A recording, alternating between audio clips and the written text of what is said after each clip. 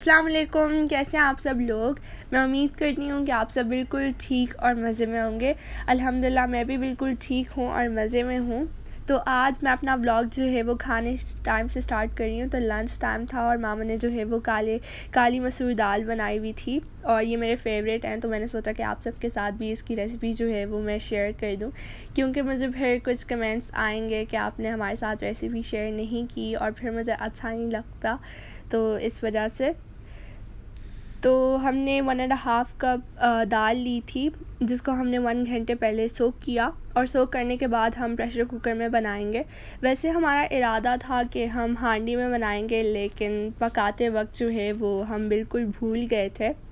और नेक्स्ट हमने four cloves of garlic add किए और टू ग्रीन चिली साथ में हाफ़ टोमेटो और टू इंच अदरक ऐड किया और सॉल्ट डाला। फिर इसके बाद हाफ़ टी स्पून के करीब हल्दी नेक्स्ट हमने वन टीस्पून सालन मसाला ऐड किया और इसको दाल गलने तक पकाएँगे। और ये देखें, हमारा प्रेशर कुकर का हैंडल भी जो है वो टूट गया। और बाबा तो कह रहे थे कि आप जो है वो प्रेशर कुकर न्यू वाला ले लें, लेकिन मामा ने कहा कि नहीं, इसका बस सिर्फ़ हैंडल ही टूटा है। और बाकी ये पूरा ठीक है, और अगर मैं न्यू ले लूँ तो इसको फेंकना जो है वो मुझे अच्छा नहीं लगेगा। तो अगर आप में से किसी को पता है कि इसका हैंडल जो है वो हमें कहाँ से मिलेगा तो हमें ज़रूर गाइड करें। अभी फ़िलहाल तो गुजारा हो रहा है, लेकिन बहुत प्रॉब्लम हो रही है इसको खोलने में और बंद करने में। और अभी जो है वो हमारी दाल रेडी हो गई तो एक कप पानी हमने जो है वो और ऐड किया, क्योंकि थोड़ी सी ग्रेवी हमें पसंद है दाल में। तो नेक्स्ट हमने कोरिएंडर भी ऐड किया, और अब इसके लिए जो है वो तड़का रेडी करते हैं। तो सबसे पहले पैन में हमने ऑयल ऐड किया, और फिर half small onion chopped add किया और थ्री रेड चिलीज़ और इसको थोड़ा सा पकाएँगे।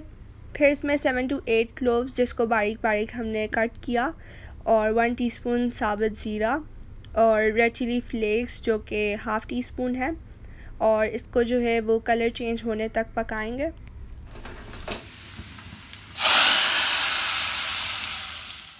दाल को मैंने अभी टेस्ट किया तो मुझे बहुत ज़्यादा अच्छा लगा। और ख़ैर, मैंने अभी तो दाल नहीं खाई क्योंकि मामा अभी बना रही हैं साथ में चावल। और हम जो है वो दाल चावल के साथ ही खाते हैं, हमें बहुत पसंद है। और ये आज की क्लिप है, आज लंच टाइम की।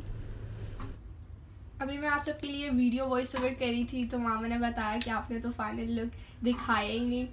तो अभी जो है वो मामा डिश आउट कर रही हैं। तो ये है दाल की फ़ाइनल लुक और अभी मेरे मुँह में जो है वो बहुत पानी आ रहा है क्योंकि मुझे दाल बहुत ज़्यादा पसंद है, मैं दाल लवर हूँ और गोश्त इतना नहीं पसंद जितना कि मुझे दाल पसंद है। और अभी मैं आप सबके लिए फिर से जो है वो टेस्ट करती हूँ, क्योंकि मैंने पहले भी टेस्ट किया था और मुझे इसका टेस्ट जो है बहुत ज़्यादा अच्छा लगा था।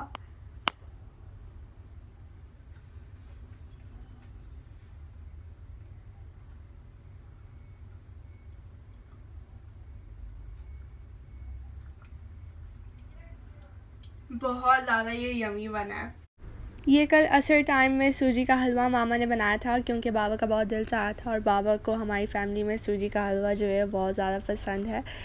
और अगर रेसिपी ना शेयर करूँ इसकी तो फिर मुझे कमेंट्स आएँगे तो सोचा कि आज जो है, वो सबकी रेसिपीज़ आपको डिटेल में बता दूँ।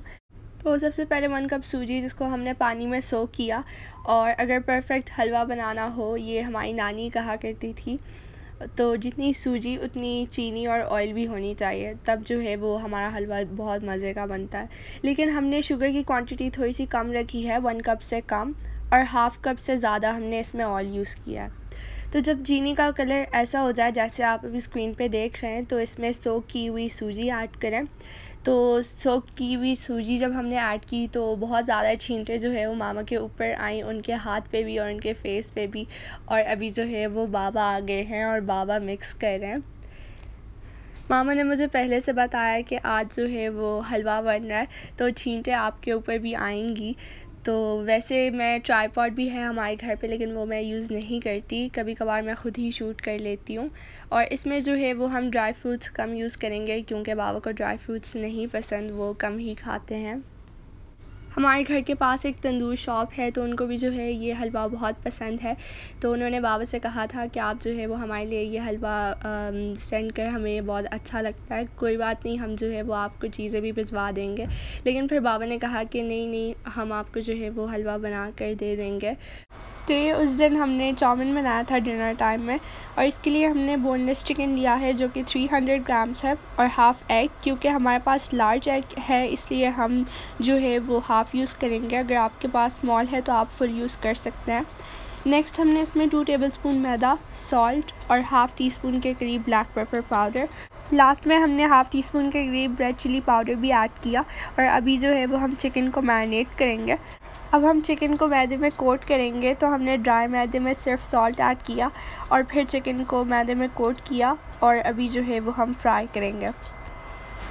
चिकन हमारा फ्राई हो गया तो अभी हम जो है वो चाउमिन के लिए वेजिटेबल्स को कट करते हैं तो हम कैबेज यूज़ करेंगे कैप्सिकम और कैरेट इन तीनों वेजिटेबल्स को हमने लंबे लंबे शेप में कट किया और हम जो है वो वन पैकेट स्पेगेटी यूज़ करें तो उस हिसाब से हमने वेजिटेबल्स को भी कट किया। पतीले में ऑयल ऐड किया और two tablespoon garlic paste और फिर कैप्सिकम ऐड किया और कैरेट ऐड किया और वन मिनट पकाना है हमने इन दोनों चीज़ों को। और फिर हमने हाफ़ टी स्पून के करीब चिकन पाउडर भी ऐड किया और कैप्सिकम ऐड किया और तेज़ आँच पे हमने पकाना है और वन टीस्पून के करीब ब्लैक पेपर पाउडर और ग्रीन चिलीज़ दो ऐड किए। नेक्स्ट हमने इसमें हाफ़ टी स्पून के करीब शुगर ऐड किया और one and half tablespoon soya sauce two tablespoon chilli sauce और one tablespoon oyster sauce और लास्ट में फिर two tablespoon tomato ketchup भी ऐड किया। फिर हमने इसमें फ्राई किया हुआ चिकन भी ऐड किया और नेक्स्ट हमने फिर स्पेगेटीज़ भी इसमें ऐड किए। और लास्ट में ग्रीन अनियंस क्योंकि चाउमिन में ग्रीन अनियंस बहुत मज़े के लगते हैं। इसके बाद सारे इंग्रेडिएंट्स को अच्छे तरीके से मिक्स किया और चाउमिन जो है वो हमारा रेडी हो गया। तो ये काफ़ी जल्दी बन गया था और मुझे तो बिल्कुल यकीन ही नहीं आ रहा था कि इतने कम टाइम में जो है वो ईज़िली बन जाएगा, क्योंकि चिकन भी जो है वो हमारा फ्राई था और स्पेगेटीज़ भी हमारे बॉयल थे, बस सिर्फ़ ऐड करना था और थोड़ी देर पकाना था और बाकी वेजिटेबल्स को थोड़ी देर सॉफ्ट करना था तो ये जल्दी बन गया। और इसको हमने अभी डिश आउट किया। चाउमिन हमें बहुत ज़्यादा पसंद है और ये बहुत मज़े का बना था, बिल्कुल रेस्टोरेंट स्टाइल बना था और बहुत ही इजी रेसिपी भी थी और आप सब जो है वो ये रेसिपी ज़रूर ट्राई किएगा।